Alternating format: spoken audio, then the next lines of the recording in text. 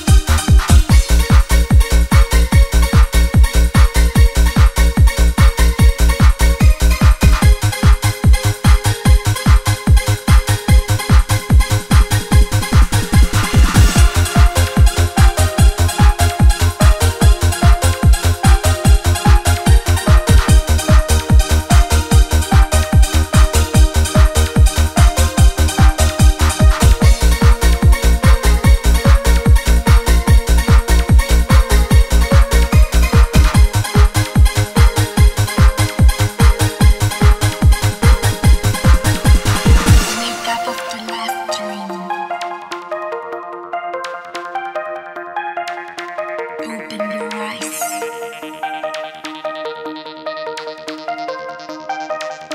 At the end of this experience,